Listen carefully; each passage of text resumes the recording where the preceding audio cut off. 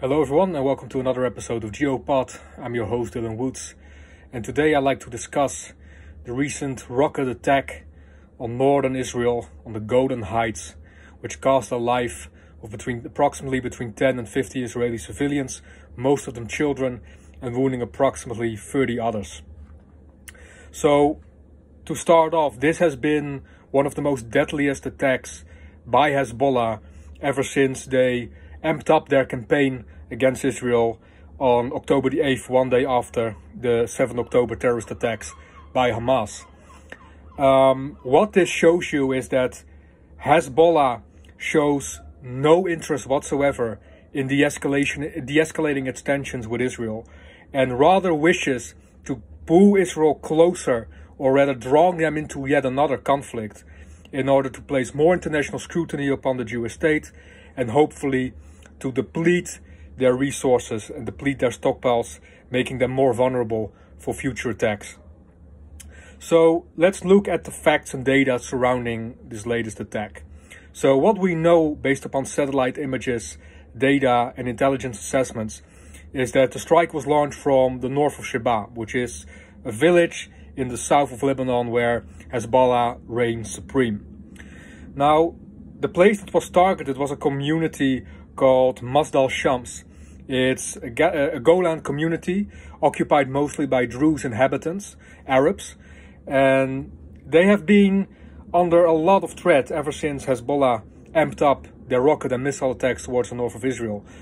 53 up until 80,000 civilians had to evacuate from the north ever since Hezbollah amped up its campaign and are still not able to return and probably won't be able to return for the foreseeable future, especially after an incident such as this. So what we know or what we think we know based upon imagery, based upon witness statements and intelligence assessments is that the area surrounding or in close proximity to a soccer field was struck, which resulted in most of the casualties being children. Now, this is very interesting to note. We know from recent statements and from surveillance footage released by Hezbollah that Hezbollah has performed a lot of reconnaissance around Israeli military bases, Israeli missile defense systems, Israeli military headquarters in and around the north. So we know they have locations, geographical data upon those locations. We know they have some sort of image regarding their defensive layouts, regarding their vulnerabilities, their weaknesses, and so on. So that raises the question, why do they strike a civilian area? Why do they strike a site which stands in no relation to military infrastructure? The very military infrastructure they have claimed to have, uh, have performed reconnaissance around and have performed surveillance around for such a long time. Well, that, that question can be easily answered. First of all, Hezbollah is a terrorist organization. It doesn't give a fuck about who it kills. Simple as that. It aims to kill Jews. Whether those Jews are children, whether those Jews are soldiers, whether those Jews are diplomats, it doesn't matter. They want to kill Jews. That's their purpose. That's what they're there for. They want to eradicate the Jewish state of Israel and all its inhabitants. Just as the same as Iran, the same as Hamas, the same as the Houthis exactly the same. Now, what is ironic about this is that given the efficiency of their attack and given the fact that it wasn't intercepted by the Iron Dome missile uh, rocket defense system, it could have easily been a very successful strike against actual military infrastructure that Israel might have used against them in a future conflict. So from a strategic point of view, military strategic point of view, it's utterly ridiculous. From a PR point of view, however, and I will delve into that a little bit deeper um, later in this clip, it stands more in line with their agenda. Now, before I want to delve into all of that, let's take a look at the technicalities surrounding this strike.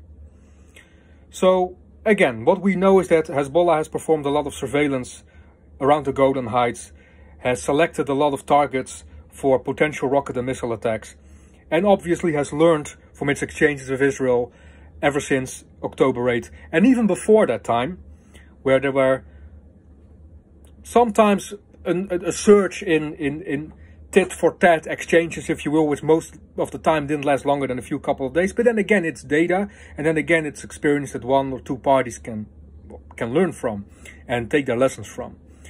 So the trial and error was definitely a huge part of this success, right? Like Hezbollah has almost launched rocket and missile attacks upon Israel on a daily basis, most of which were intercepted by the Iron Dome missile defense system or by Israeli aircraft directly.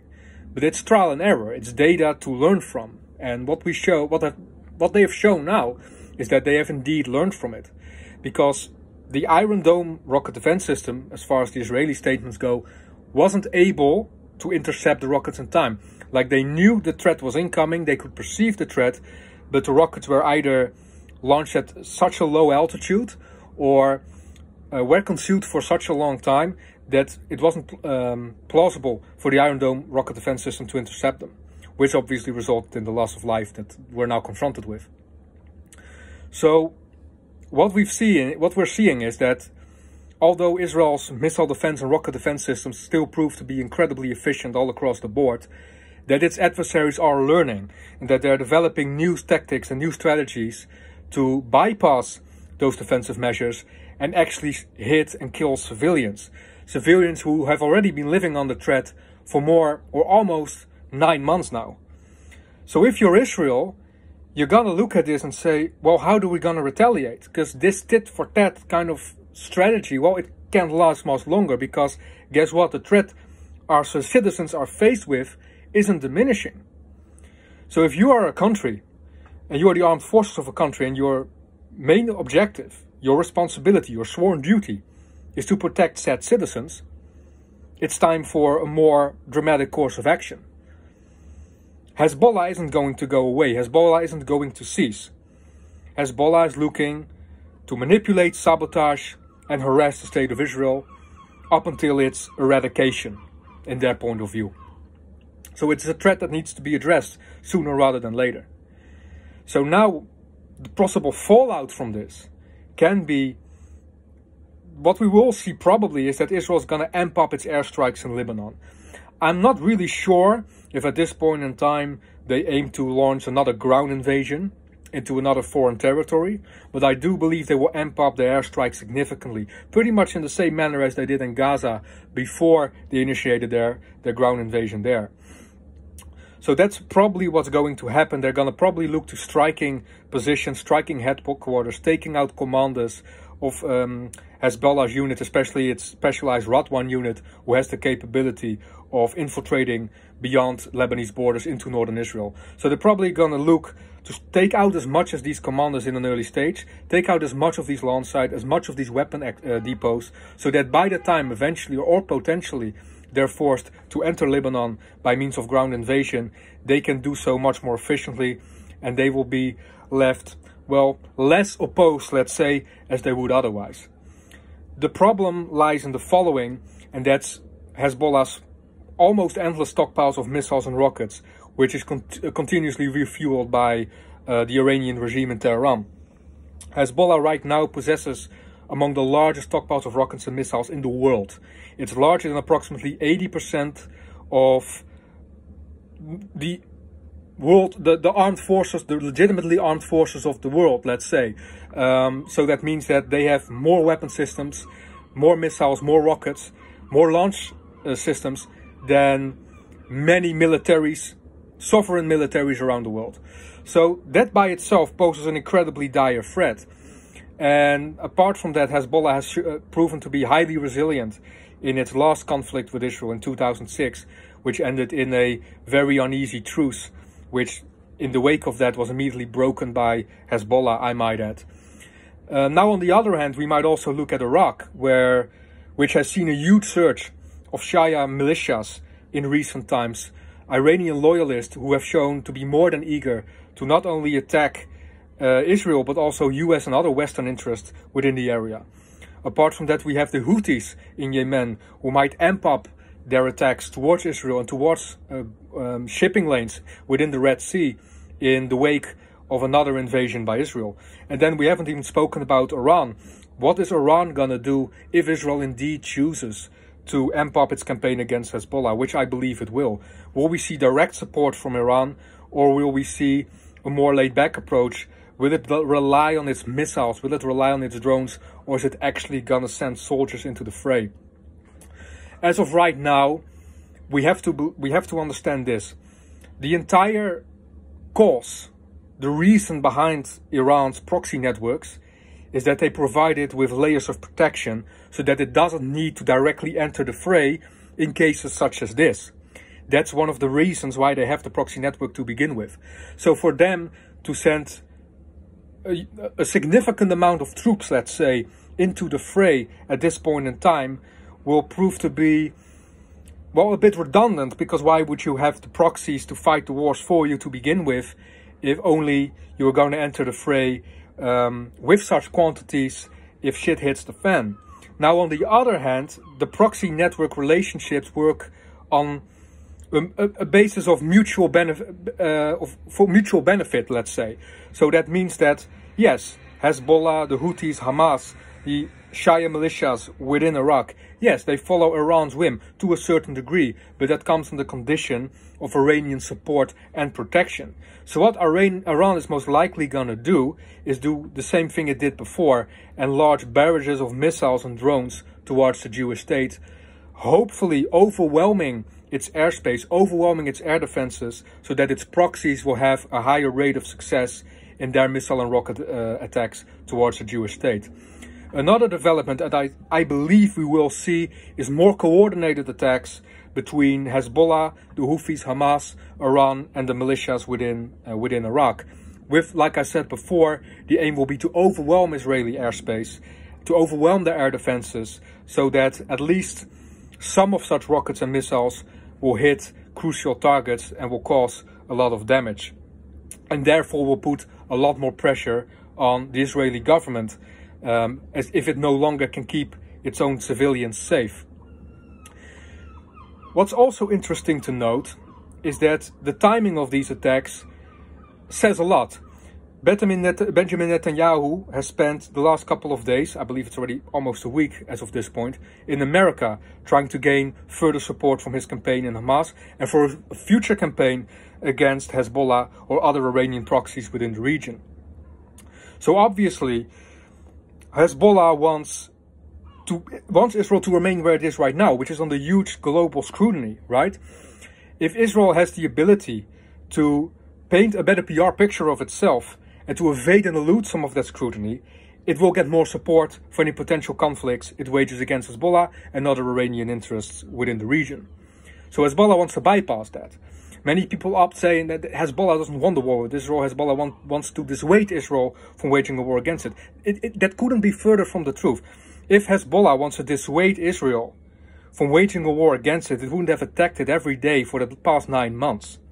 Hezbollah wants to draw Israel into another war because, one, they understand that more accounts of civilian casualty ratios, of disturbing imagery, is only gonna add more pressure upon the Israeli government to seize their campaigns, not just in, in Lebanon in the future, but also currently within Gaza. Secondly, they believe, based upon their last interaction with Israel in 2006, that they have the ability to survive another, another full-scale conflict with the Jewish state. That they are be able to survive, they're going to emerge from it, and that they will remain in control of at least the south of Lebanon for the foreseeable future. Iran and its proxies have smelled blood in the wake of the 7 October attacks. What they wish to do now is optimize the vulnerabilities they have they have seen within the Jewish state's defensive posture and at the same time built upon the developments that are currently going on, um, which is a huge scrutiny, a huge besmirching of Israel within global media as well as within the international community as a whole. So they wish to optimize both these things and see, well, how far can we push it? Is Israel really as resilient as we believed it to be on both these fronts? Or is there actually much more to gain for us here? So it will be very interesting to see how that will play out. Anyway, as of right now, these are my thoughts regarding the situation. And these are my theories and analyses, if you will, of how the situation might play out. We have to remember, though, that Hezbollah is the one who launched these attacks. Hezbollah is the one who started their campaign in the wake of the 7 October attacks against Israel. As much as they are trying to create these alternative narratives, the data speaks for itself. This is not based upon opinion, this is based upon data. This is based upon intelligence assessment, this is based upon satellite imagery. It's there. So, the reason why they are trying to deny their involvement now, saying we haven't strike, we haven't struck this area, it was not a rocket based, launched from one of our sites by one of our people. Well, that this doesn't add up, given the fact that we know what we know, which is for every day or almost every day for the past nine months, you have launched rockets from similar sites, similar rockets, uh, targeting a similar area. So, yes, you were behind it, and yes, you're trying to escalate the tensions with Israel further because you believe that in the end, the proxy network that you are part uh, that you are part of can prove to be victorious against the Jewish state, whether in the short term or in the long term. This is all I want to share with you today. If there are any other developments that will arise in the future, I will be sure to discuss them here on this channel. So please feel free to leave a like. Uh, please feel free to subscribe to my channel. I'm hoping to disseminate more content in the near future. And obviously, whenever something like this happens, I will feel obliged to discuss it a little bit and provide you with my theories and opinions. Thank you again for listening to this clip. I wish you all a blessed day. Thank you.